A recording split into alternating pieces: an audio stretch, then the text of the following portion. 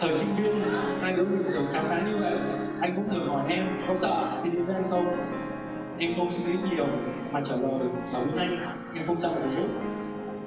Và từ lúc đó anh biết em là người phụ nữ của đời anh. Giống như lời bài hát hai đứa mình rất là yêu thích. She share my dream I hope that's something I share Tối hôm em chia sẻ cùng anh ước mơ Và anh hy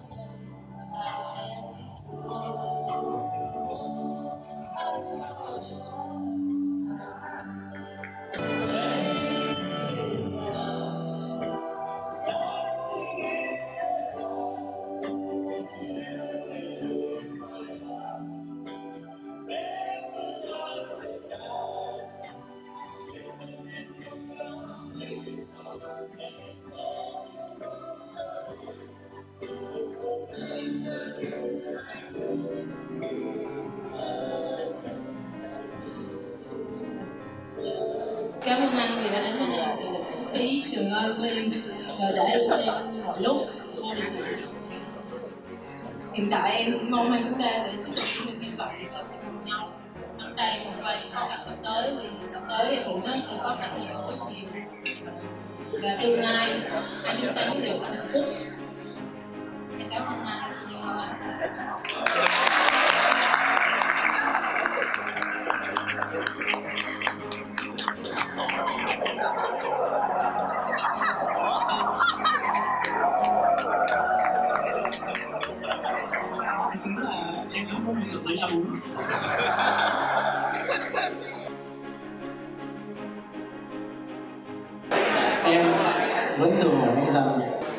và anh thường trả lời rằng, em có giọng nói dễ thương, em là một cô gái mạnh mẽ, lý trí và bản lĩnh. Và đến hôm nay, khi sống chuỗi những mảnh ghép thì dường như một bức tranh hoàn chỉnh đã xuất hiện. Anh vẫn luôn nhớ một kỷ niệm khi hai đấu hình một sơ bớt từ khu trường của người dân ở Bulgaria ở Ulanode một thành phố nằm bên hồ của khu vực Nagam cách Moscow 4 giờ đi tàu chạy, đấy là nơi xa nhất mà chúng ta đã cùng nhau đi tới khám phá từ trước tới giờ này lúc đó, trong một thoáng anh chợt nghĩ, giờ nhớ có chuyện gì xảy ra thì sao nhỉ? Hai đứa sinh viên Việt Nam ngồi đợi giữa trạm xe bus cũ, cạnh một con đường hẻo lánh nhất thế giới. Nhưng anh không nói để anh lo lắng. Thời sinh viên, hai đứa mình thường khám phá như vậy. Anh cũng thường hỏi em, có sợ khi đi với anh không? Em không suy nghĩ nhiều, mà trả lời, ở bên anh, em không sợ gì hết. Và từ lúc đó, anh biết em là một phụ nữ của đời anh. Giống như là bài hát hai đứa mình đã share my dream. I hope that's something I share đúng hơn em chia sẻ cùng anh ước mơ và anh hy vọng một ngày nào đó chia sẻ mong ước của mình cùng với em. Đó là những gì em muốn nói.